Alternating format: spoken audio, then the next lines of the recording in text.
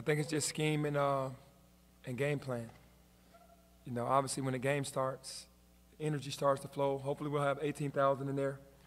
There's no way we need to start off slow at home, but we haven't been home in a while, so it's going to be. You hope to come out and be like, we're back home, we're excited, but you just hope not to get a slow start at home, coming back with that type of energy in the crowd. And uh, but game plan is what should not allow us to uh, get out to a slow start. What's your emotion for your first real, true game back this year? Yeah, I've had big games in the Forum before, so I'm, I'm just excited to get there. I know it is the first one this year, but you know, I'm I just love these opportunities, man. I'm not really looking at it as any game that I haven't coached thus far, like in, as far as the big games at home. You know, we've had the Houston's at home, we've had Alabama here, so I'm just you know looking at Clemson as one of those big games that I, I have to be uh, sharp and uh, and have the energy for my guys. did a much better job on the boards at A and M. This is a great rebounding team, veteran team. Have you figured out those issues, Penny, especially giving up the offensive rebounds that have been a problem? Well, we've been working on it every day, and we put some drills in every day, and it seems like the guys are really listening and understanding how important it is and not overlooking it anymore. I think they felt like the ball was just going to fall in their hands before, even though we were working on it, but now you can hear them constantly talking about it, saying, hey, we have to box, we have to turn, we have to see where the guys are coming from, we have to, we have to get those rebounds. About Clemson? Uh, well, Clemson is, you know, they're hungry because they haven't won the way that they wanted to win. Main reason why PJ Hall came back, main reason why Joe Girard transferred from Syracuse to there, they want to win. So they're very hungry. And to be 9 0 right now, they're, they're very confident. And uh, the thing that stands out is it's been a team that's been down, but now they're, they're up and they're, they're loving where they are right now, you know, playing with, playing with a lot of confidence. with, uh, with winning games, losing games at all, a lot of it comes down to like one singular thing or a stat maybe. Is rebounding that for you guys? Like, if you win the rebounding battle, y'all are in pretty good shape. I think any coach would tell you if you win the rebounding battle, unless you're just fouling like crazy, you win the rebound battle and the free throw battle, that you have a good chance to win every night. And uh, rebounding is definitely not giving them second shot attempts is, is main. It's the main thing. So to that to that point, against Texas A&M, down two bigs, Malcolm got to play only 12 minutes due to foul trouble. You guys played a lot of small ball and still won that rebounding battle. Was it a, when you looked at the, the stat sheet afterwards, were you pleasantly surprised, or could you tell that that was happening as the game was going on, that you guys were asserting yourself on the re, on the glasses? While the game was going on, it seemed like they got every offensive rebound, all those tip outs, because they got a four or five tip outs in a row. But it's preparation. It's what we prepared for. It's what we've kind of made our focus in our practices. So it doesn't shock me that the small ball, we rebounded better. And, you know, it's just we're, we're preparing ourselves to do that on a nightly basis. How has Jahvon Quinerly's played at the last two games? What's been the difference, you think, in terms of what he's doing out there? Because obviously he's playing at a Oh, Oh, it makes a huge difference, man. We'd be undefeated if he and Caleb and, and Jaykwon were playing at a high level. We wouldn't have lost to Nova. We wouldn't have lost to Ole Miss. They struggled for about four games offensively, shooting percentages from field goal and three, and just didn't have it. The main reason why we won the last two, they've scored, you know, and you just need your guys to be your guys. They got to show up. I know you guys have worked a lot on what happened at the end of that A and M game, where they were able to get that lead down to four, you had trouble with the inbounds and breaking the pressure. That's something you obviously have focused on in practice. We shored that up. The problem is guys are trying to get fouled. They're not trying to foul. They're trying to steal the ball. So we said you can't hold the ball because they're thinking as soon as the ball comes in, they're going to foul. No, it was too much time left on the clock. So we put ourselves in really bad situation trying to wait to be fouled instead of getting the ball up the court. So, yeah, we've definitely shored that up by saying get the ball up the court and it doesn't matter who shoots the free throws. But they were trying to get fouled.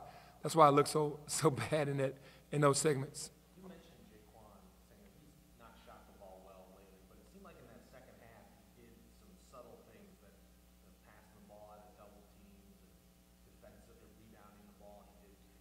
Is, do you see him turning the corner? Like do you feel like that's inevitable? He's going to find it. I think he, yeah, I think he, definitely he's going to find it, but I know he's making a conscious effort to be more of a playmaker. while his shot is not on. Even when his shot is on, he's still going to be that guy. He likes to get the ball to his teammates. He likes to make the extra pass. And when this offense catches up, like he was really, he shot the ball really well against Jackson State. And then he stopped shooting and started trying to find teammates. But that's the way we know that Jaykwon can shoot the basketball, and at any given time, that can turn. How do you think your team responded to being away from home for so long? Did it take any sort of toll? I don't think it took a negative toll. It took a positive spin because we bonded more together, being in the hotels, being on the road. And, uh, you know, I never wanted to play away from the FedEx Forum, be away that long ever again. But, you know, the bonding definitely worked for us being around each other, for sure. So we can rule out say a six, seven game road in the future? I won't say no, but it's, it's going to be hard for, me, hard for me to do that again. How are you seeing uh, Caleb's confidence just grow since he's moved up, uh, coming up to bench?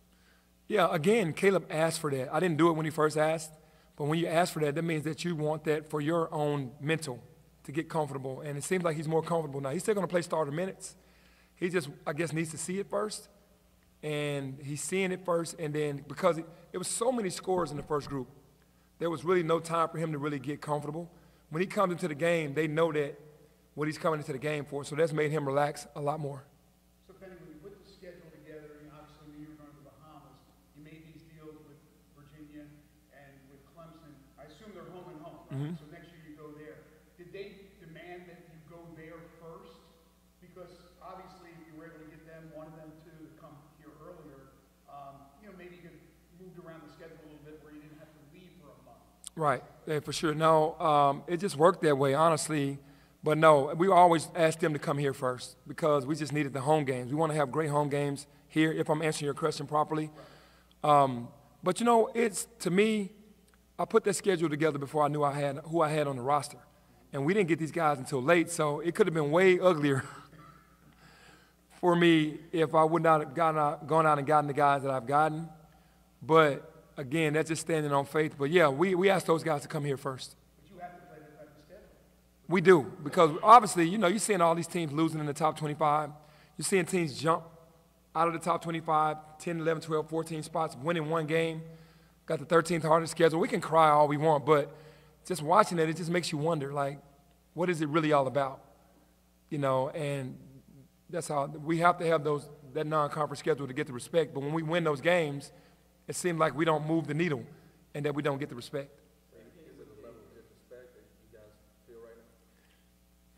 It's no other way to look at it because 13th hardest schedule. I don't know who the 12 other teams are. We beat a really good team at home, and they're still ahead of us. That's enough disrespect. I mean, if we're not in the top 25, we're definitely supposed to be at least ahead of Texas A&M for now. Hey, Penny, with the two good halves you put together, how close is the chemistry of the team getting to where you want it to be? Well, that's it's getting closer, but it's still a ways away. We're still learning each other. We're still learning the offense. I'm putting new defenses in as we go. As you all know, my team started playing better late January, February because every team I've had with the last three years, teams the guys have come in late and we haven't been able to bond. So I'm slowly putting things in as I go, but it's getting better, better every day and every week. His status, as far as I know, is sick. That's all I know. What has it been like, I mean, th- this guy was supposed to be a major part of the team, and this is obviously a key part of the schedule, having that uncertainty of, it seems like uncertainty of whether he's available or not, how, how's the team dealt with it, how are you dealing with it? I mean, we're just trying to support him from afar, and um, that's all we're doing as a team and as a staff. He's not with the program right now, away, he, he wasn't at practice today, or he's not in He's not at practice, but he's still with the program. Are uh, JQ and David kind of giving you KD and DeAndre vibes a little bit? Yeah, yeah. I mean, you can say when they're both playing really well, they give you those vibes of, of uh, KD and, and Dre.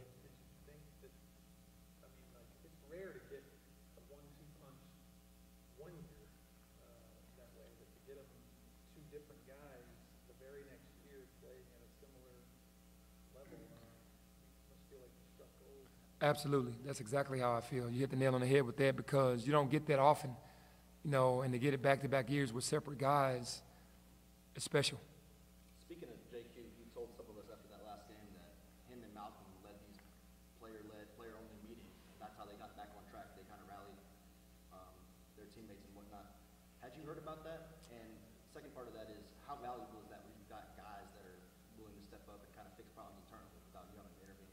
Yeah, no, I, I knew that they were doing some things, but it makes me feel good that those guys are leading those meetings in a positive way.